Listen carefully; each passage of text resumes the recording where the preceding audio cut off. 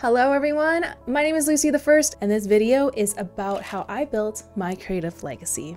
I'm a content creator, DJ, producer, and creative director. Check out the timestamps below so you'll know exactly what topic you are in for. Let's get started.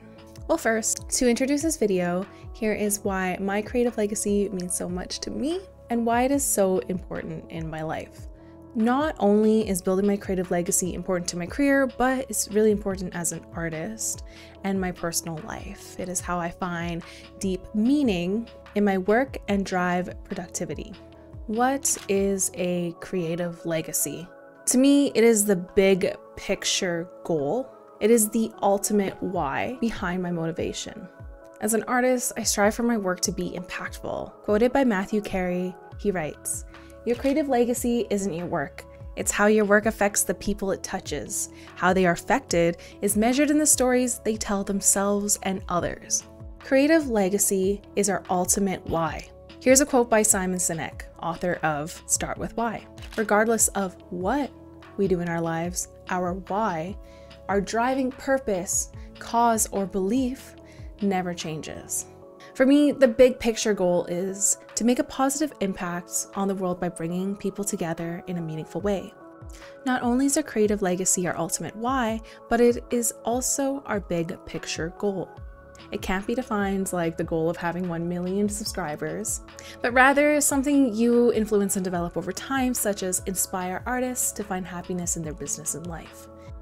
For me, my big picture goal is to make a positive impact on the world by bringing people together in a meaningful way.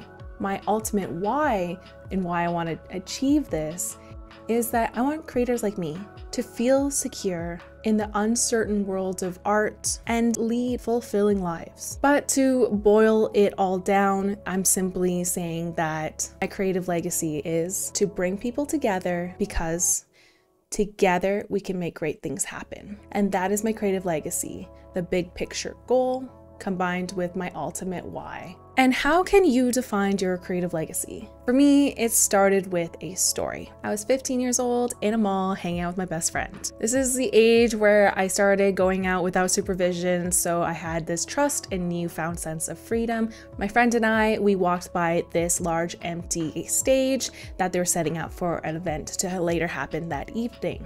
My friend turns to me and says, I dare you to go on that stage and sing everyone a song. I turn red because I'm quite the quiet kid and I was pretty shy, so it's to my surprise that I agreed to her dare. Before the fear of getting kicked out caught up to me, I jumped up on the stage and began to sing. Side note, I am not a great singer. I'm not a good singer even today.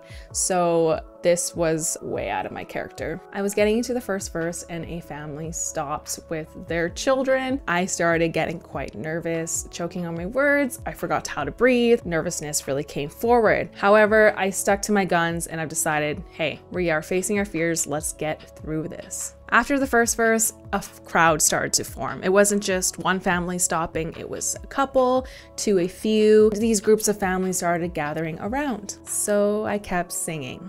And it was this story that helped me really understand my creative legacy and my purpose. This story is about a young girl taking the chance, facing her fear, and diving into bringing people who didn't go to that mall that day to watch a 15 year old try to attempt to sing a song. They came for something else, but they stayed for that experience. That's when I realized I didn't have to be the most talented in the room to be able to do great things and to bring people together. To inspire and to lead is to do the work. It's to ignite the light and be that light for the people at that certain time in that certain moment. This story is the seed that sparked my creative career and my creative legacy. And I realized the potential to bring people together because together we can make great things happen. So let's talk about finding your creative legacy. Let's think about the big picture goal. What is it that you'd like to achieve? Maybe it is to achieve stability in your own entrepreneurial pursuits. Or maybe it is to open an organic market with locally sourced goods. Once you set up the goal, you'll have to do some digging to find your why. Maybe you want to achieve entrepreneurial stability so you can have the wealth and freedom of time to spend with your family and work on other entrepreneurial pursuits. Or maybe you want to achieve a locally sourced organic storefront so you can provide your community with quality, nutritious foods, as well as support farmers so they can sustainably feed communities such as yours. When finding your creative legacy, don't forget to think about your big picture goal and discovering the important why behind it all. Enjoyed this video? Don't forget to leave a thumbs up so I can make more videos like this one. Have a question? Feel free to leave a comment as I would love to hear from you. My goal with these videos is to help develop and grow your creative legacy as well as enhance your productivity and to build a supportive community of creators. So hit that subscribe button and share this video. Thank you for tuning in. Till then, I'll see you guys in the next one.